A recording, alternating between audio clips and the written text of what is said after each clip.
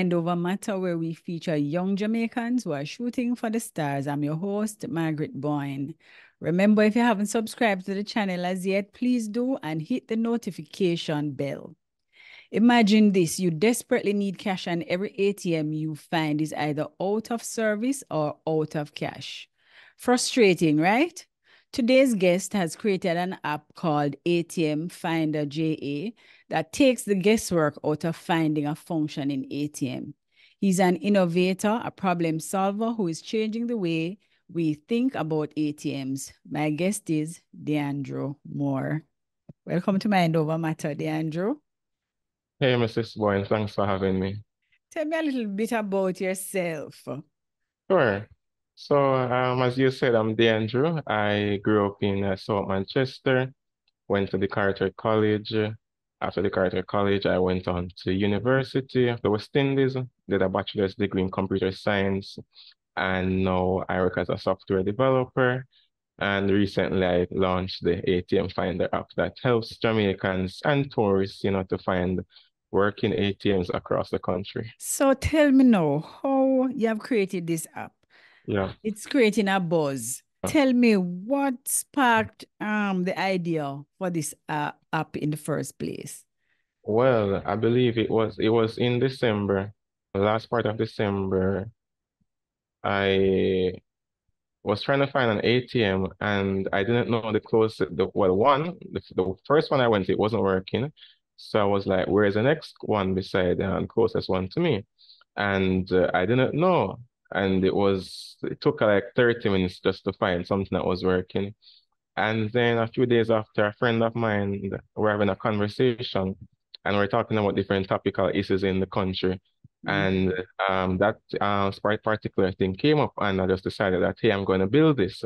And I started it. I went on Twitter and saw that a lot of persons were talking about it on Twitter as well. So that uh, validated the idea that it was a, indeed a real problem. Mm. So you were responding to the frustrations and, and the, the complaints of, of the Jamaican people, basically. Yes, yes. So can you walk us through a little bit though about the development process? It started, I think it was the last two weeks of December I started it. The first night I did some research, I realized that it was going to be hard to get a good data set of all the ATMs because what I needed was the coordinates, that's the latitude and longitude of the ATM locations, mm-hmm. as well as the type, the associated bank. Mm-hmm. And then I think the following day I realized I was on Google Maps, just I don't I don't even remember what I was doing, but I realized that hey, there are some ATMs there, and I could use Google Places API to get the ATMs. So what that is, it's a it's a program from Google that you can basically pay for a list of um things on their services. So I paid them $30 and mm-hmm. then I got around 250 plus ATM locations. And once I got that, it was um pretty much uh, everything else was up my alley because I'm a mobile developer. So mm. that's what I do. So I was pretty much um, you know, just engineering the rest of it now. So when you say thirty dollars, you mean thirty what? US Jamaican? Thirty dollars USD. US, right? Yeah, yeah, US. So $30 to start out. So yeah. you were able to get that data that you needed. Uh-huh. Right? Yeah. What were some of the other the challenges and the hurdles that you encountered during the whole process? All right. So I think I would say the major challenges perhaps would be that uh, some of the ATM, well, when I when I launched the app, I realized that a lot of ATMs were also missing because even though even though I got 250 plus persons mm-hmm. were messaging and saying that, hey, I don't see this ATM at X place. So then I had to create. I had initially I had persons just you know DM me with uh, the coordinates and the type of ATM, and then I added a form like a Google form in the app that, app that, that you can just submit um, the coordinates and um, and the type of ATM. So I think just the just the access to that public data because mm. uh, public data is you know is not very easy to get in Jamaica. So mm. I think mm. that, that, the data is really the, the challenge to be honest. Mm-hmm, mm-hmm. But what about funding? Did you need any other funding? Because by thirty dollars couldn't do it. No, um, so uh, the, the thing why I love uh, technology is it's a very good equalizer, meaning that Mhm. once you have the skill and you're willing to learn, anyone can get into it with very, very minimum um, startup Mm. funding, right? Mhm. So you just need, for example, you just need to learn how to code. You can use YouTube, you can go to university, or you can do programs online. So I Mhm. already had that coding background. So then the only cost was really the 30 USD. I have to pay Apple $99 each year, 99 USD each year to have my developer account so I can publish apps. And then you pay Google $25 each um, for Mhm. life, actually. So there was no Mhm. startup capital. It was just, um, you know, paying Apple and Google. Mhm. So how long did it take you though, the whole creation of it of, of Right. this app? So it took me a week to have a A working week? prototype, a working prototype, What? and then I used the next week now to send some of my friends and have them test it, and then I made um bug fixes and other improvements um as I went along. Mhm. Yeah. So so did you have anybody who worked with you or you know collaborated or you did it on your own? Right. So um currently it's only available on i on Apple, so on iOS um store. So I did that on my own within those two weeks. Then after I launched it, I got together with another developer and he's Mhm. currently working on the Android version. His name is Milton and he's currently Oh. working on the Android version. So it's basically finished. It's just in a Mhm. testing period by uh, the Google Play Store, a 14 days testing period. Mhm. So we're undergoing that phase right now. And then the Okay. Android one will be live by, I want to say, early February. Mm, Um, the banks, did you need anything from them? They were, they, they, how, how they got into the whole process? All Or right. this was just outside of the banks? Right. So this was outside of the banks because the Oh, approach I took was a, is a crowd um, source approach. So I don't know if you've ever used oh, Waze before, where you can like uh, when you're driving, you can pinpoint where um you know bad road is or construction is under um is underway, oh, police is there and so forth. okay. Yeah, so uh, that uh, a community driven where persons are contributing to the updates. So Mm, that's the same approach I took within um, ATM Finder, where it's ordinary Jamaicans like me and you are contributing to the updates within the app. mm, So I go to mm, an ATM, and if it's not working, I just update it that it's not working, and it shows which ATM, it shows how long ago I made that update, so that other users who are going to that location can see that, hey, this ATM isn't working and it was submitted, for example, three days ago. mhm. And uh, yeah, it's very community driven. Oh, so you rely on the the users of the actual Right. app to for the Yeah. update. Yeah. All right. So tell me a little about the key features of the uh, of the app. Sure. So uh, one of the things that I really um like what you, that I did was at the filtering option. So when you just open the app, you'll see a list of all the ATMs. You'll see um the map which has all the ATMs in Jamaica. But then you Mm, can filter by say working Scotiabank because I tend to normally go to a Scotia ATM. So having that filter just shows me all the working ones that are closest to me. mm, And that's just an easy way to um to navigate the app as well.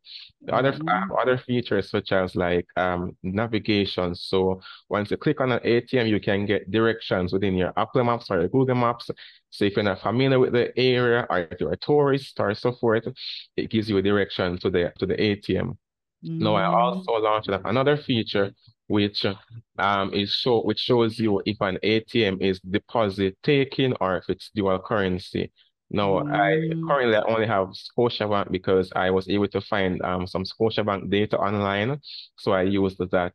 But other persons say that they were willing to actually contribute look um via the app to say if an ATM is deposit taking or dual currency. So I also added that feature so persons can manually put if uh you know if this ATM takes deposit, does dual currency and so on. okay.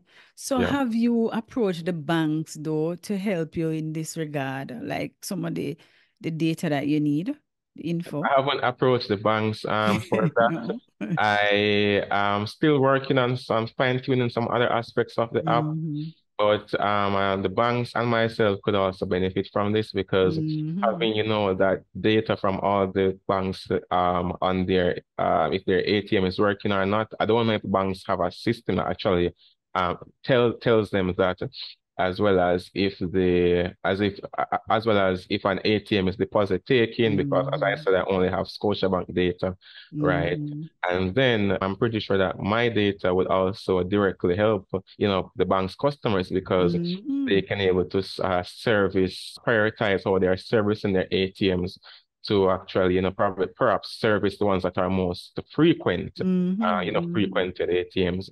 So that's something that I'll be open to doing with the banks. Mhm. So your information though, it's updated in real time, would you say? Yes, so as you um as you go into the app and make an update, then uh, Mm. somebody else uh, just opening the app and click on that ATM will probably see updated five seconds ago. Mm. So it's very real time. Hmm So how would you know though? Suppose somebody went to a bank, no Right. money, no money. How would you know when it was refilled? Yes, so um that's one of the challenges that I'm currently facing because Mm. as you say, um perhaps the bank decided to service this ATM this evening. Mhm. Mhm. And uh, you know, if I am seeing an ATM that's saying not working, I would probably want to avoid it. You know, so perhaps you have an ATM that's been avoided for say three weeks because no one, everybody's just skipping over it when it was actually fixed by the bank Mhm. um, while we're having this conversation, for example. So um, that's a challenge that I'm currently facing, and uh, um, there's currently no way out. There's currently no uh, you know solution, working solution to it Yeah. yet. But um, as I go along, I'll see how best because that would that would that would definitely need the banks um intervention, you know, to help alleviate that issue. Mhm. Yeah. But but this app, Deandrew, will be able to help you and the bank, the, the, the bank's customers as well. So I don't see why they they, they would wouldn't hop on to this, you know. I, I don't know. I say we'll see. I'll have to um, you know, make some contacts and then um we'll see we'll take it from there. Mhm. So what about um the criminal element though? Who would want to use this Right. app for other Yeah. illegal reasons? Yes. So um well I'll start by saying with every advancement in technology, uh, Mhm. persons will always try to do good or bad. So you as a good actor um, have to put up guardrails to prevent this, but you can't Mhm. always um have a guardrail for everything from the get-go. You have to um adapt as as time goes by. Yeah. So what I Mhm. did um initially is to have a proximity check. So you can only update an ATM that's within a certain radius from you. So I'm in Kingston. I can't update an ATM in probably New Kingston or Halfway Mhm. Tree. I'm not saying that you have to be close to the ATM, but you have to be within a reasonable distance. So Mhm. by doing that, I think it mitigates the misuse of um of the app by you know just randomly updating ATMs all around you Mhm. and so forth. Um, yes, so that that's what I've done so far. There are analytics in the app that I that I have that's currently like uh seeing how persons are using the app. So it's not it's not tied to a user um identity. So I don't know that you know you Margaret Boyne is using the app. I just know that someone is using the app, and I can um Mhm. see what actions they're doing in the app, and I can uh, Mhm. you know track that to see if any uh, malicious activities come up. Mhm. Mhm. Sounds interesting. So how many persons have uploaded the app so far? Right. So I've have I've I've had a I think when I checked last night it was 1,200 plus. It was somewhere around Mhm. there um downloads.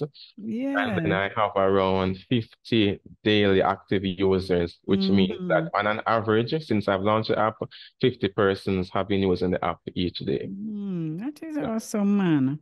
So what has been the feedback you have been getting? Yeah, so it's been pretty uh pretty great to be honest.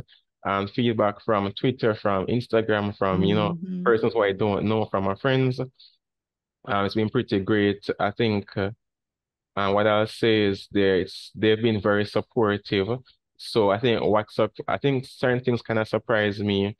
Uh, you remember when I had mentioned the having the option to, to list if an ATM is deposit taking and so Mm-hmm, forth. mm-hmm. You know, like it was actually some person's idea on Twitter that says, Hey, why don't you just allow us to do that? Because I was probably thinking that nobody probably wants to do that. You know, it's probably gonna be too much work. Mm-hmm. And they were like, Yeah, we'll be done for that. It's no problem.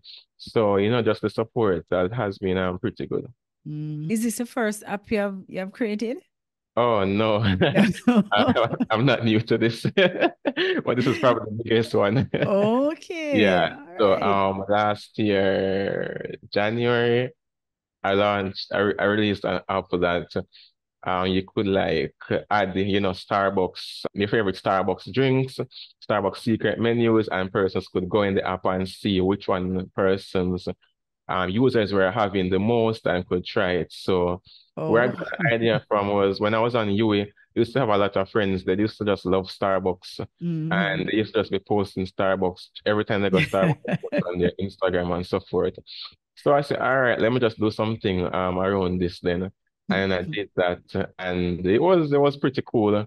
Um I think that was the first like full app I created. And I also my nine to five is also I also work on a mobile app for for my job as well. So Okay. yeah, yeah, it's Mhm. a field that I'm pretty um, passionate about and it's something that I love doing. Mhm. When did this interest in coding start?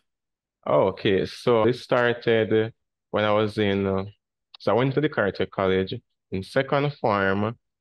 Um, a family friend of mine, he introduced me to a guy who was doing coding at NCU, um, a young man Mhm. by the name of Joel Dean.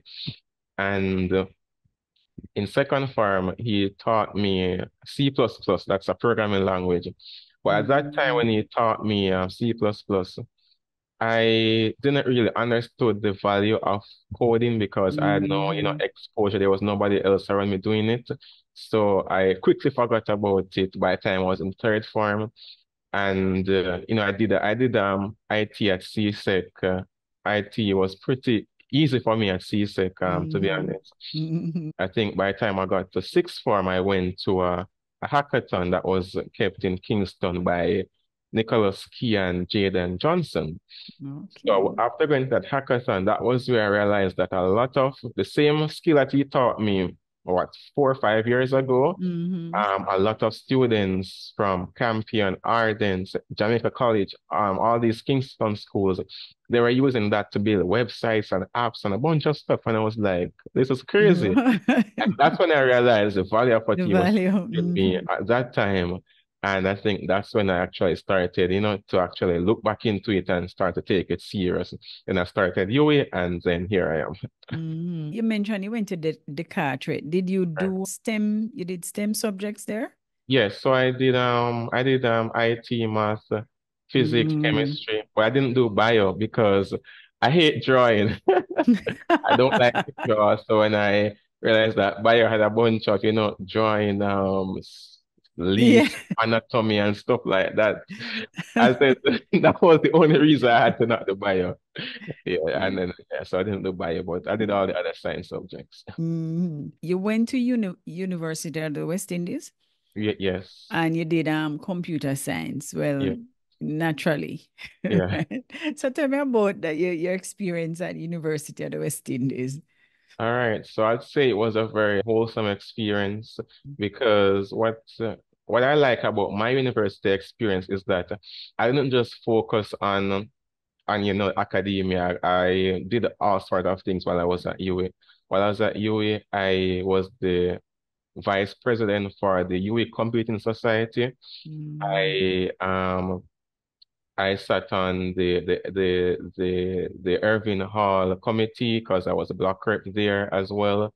So I was Mm. in charge. I was in leadership position, so I was in charge of you know planning different events, forums, parties. I did all the I did everything at at at UWI. So I would say I had a very wholesome experience there. Um, Mhm. a computer science experience, though it was pretty good. Very good teachers, by the way.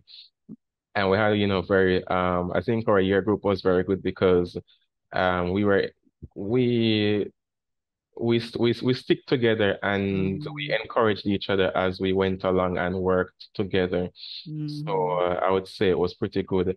Um, granted, there were some courses that were very hard. I'm not gonna lie. you know, it was there were some really really hard courses there, mm. um, but we stick together and we made it out. Mm-hmm. But there there there's a stereotype, Deandrew, that boy people who do computer science, there are some whiz kids, some geniuses what do you think can be done to dispel that that view?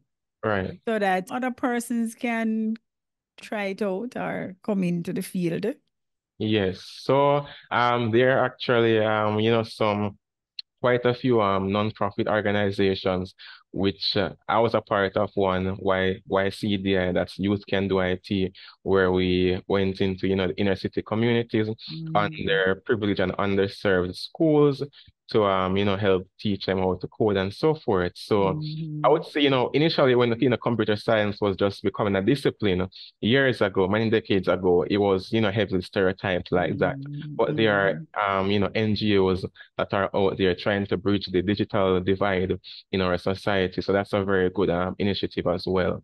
Um, mm-hmm. Um outside of that, my my um personal you know recommendation to persons are is usually would would be like it's uh, computer science or coding you have to once you have a passion for it and mm. you are you know willing to try because uh, I, I'll tell you, I was not the smartest at my university, uh, in my university classes. But mm. once you are always, you know, have an open mind because mm-hmm. it's a mm-hmm. field where you have to keep an open mind because anything can happen. Like it's it's just this problem solving field. Mm-hmm. But you have to learn how to problem solve, and the only way that you can uh, get better at that is by you know keeping at it. You have to keep on trying. So it won't come overnight.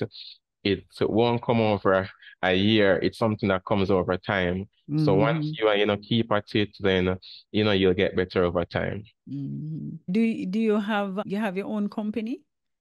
Um, no, not, no, not not okay. it's something any that plan, I, you know, I, have been, to do so? yeah, I've, I've been, con I've been, um, considering it for about a year now. Probably mm-hmm. it's time I get up and do it. yes, I think so, man. And after this up gone global, you need to do that. You know. yeah. any future plans for the app? Could you just um remind us of the name of the app? Right. So it's ATM Finder JA. ATM Finder JA. Right. You can find it on the App Store and it's coming soon to the Google Play Store by February. I do in fact have, you know, quite a few um plans for it. I'll tell you some of them. Um I I plan to work on an accessibility feature so that that that will uh, make the app accessible to members of the visually impaired community. Mm, so I have a I have a friend who I'll be working with in February. Mm-hmm. So um who is uh, you know who is um visually impaired. So I'll be working with her to uh, make the app you know accessible to that community as well. Mm-hmm. Uh, there are several features that I'm also working on because a person you know messaging me that uh, they will use an ATM, but they forgot to update it. So I've actually worked on a feature that will, you know, remind persons oh. to update to update ATM because I don't know that you that you use an ATM. I can only make a a calculated guess, you know, using math and um, location services. So uh, that's a feature that I've, that I've been working on. Um, mm-hmm. There are mm-hmm. also, um, you know, several things where I've seen persons say it would be nice to know uh if this if this ATM line is um is is full, like you know, like oh, how long yes, so long, and, yeah, and, and, and, stuff like that. So it's something that, that I'm thinking about. Mm-hmm. Um, to do it right now, we're not quite there in terms of doing that. It will probably take a few more months to uh, accumulate more data to do with that. Mm-hmm. Um, but it's something that uh that, that I have in mind as well. So there are several um ideas I have, you know, down the road for ATM Finder. Mm-hmm. I think one mm-hmm. of the um, you know, uh, uh, uh, what could be a big aid to the big aid to the app is if you realize a lot of ATMs they are located on service stations, you know, that's gas mm-hmm, stations, mm-hmm. they're located within supermarkets mm-hmm. and so forth. So if I could be able to, you know, like reach out to perhaps the bank as well, to uh well, I'm assuming that the banks would probably have a list of, you know, vendors that they have installed ATMs at. So each, um, like having each vendor, uh, you know, um, employees install the app, then they could also be part of updating mm. the app as well. And that yes. would be very, very, that would be very reliable mm-hmm. because, you know, like a gas station attendant, she's right there right, right. at the and should be able to hear when people are saying, um, the ATM now work or yes, like that. You right, right. So, so like um things like those, you know, would be very good for the community mm-hmm. as well. So mm-hmm. um, it's mm-hmm. just a matter of time. I'm I'm just have, you know, to put a few things in place first um before I start um, you know, um making those those those other um things be possible. Mm-hmm. Sounds yeah. exciting and sound exciting do you have any other interest what you do for fun? Oh yeah, kind of um this coding thing. Um, I watch football right now. My my side is playing. Um, I hope they win. Which yeah, is? so yes, is? Uh, what, oh Manchester United. Oh my oh, Lord, yeah. another Manchester. So, yeah, it's a very uh, very very toxic club from time to time. okay. Yeah, so I watch football, play football. Um, I love going. I love partying with my friends. I love um I, I love going out. So I, when I when I'm home, I'm doing this, but when I'm outside, I'm yeah, you know yeah, you're having fun. What advice though do you have to leave for right. our young people who you know who have tech dreams? Well, right. So I would actually you know tell them that it's you just have to start because mm. starting is where starting is the is the easiest thing but the hardest thing to keep doing consistently. But once you start, you'll have the motivation. And when the motivation burn out, it will come down to, you know, discipline and dedication. Mm-hmm. So, but you just need to start and then you'll probably start to see your way through there. So I also tell them that what I used to do was I used to go on when I was in like high school and so forth. I used to go on, you know, YouTube and like watch um like a day in the life of a software engineer working oh. at working at Netflix. So I used to watch those the things to kind of to kind of like what this field really is, you know. Yes. Even though I'm not working at Netflix or Google, but you know that kind of inspired me as well. Mm-hmm. So I would actually, you know, tell them that you know start, and then once you do that, um, there are a lot of free tutorials, a lot of free courses online. Mm-hmm. And if they're not free, they are relatively inexpensive, relatively um inexpensive compared to um a university degree as well, because you can actually do coding the coding courses online for like say thirty dollars, fifty USD, and so forth. So mm-hmm. the, the mm. field is very accessible. It's a very good equalizer because uh, it, it doesn't care about uh, where you're from, your race, and which country you're from. You just need internet and a computer mm-hmm. and um, and a mind that's willing to um to to solve problems and to keep at this thing. Mm-hmm. And if there's anything else, you can always reach out to me and uh, you know give a little advice where I can. Mm-hmm. Well, I am so proud of you, Deandrew. And I want to wish you all the success with this app. You mm-hmm. know, and I'm looking forward to see all these these other plans that you have, the additional features. And I want to wish you all the best. And it was great talking to you. Thank, thank you, uh, thank you so much. I'm so happy that that you reached out to me and I was able to uh, to come on your show and share my you know my experience with your your viewers and listeners alike.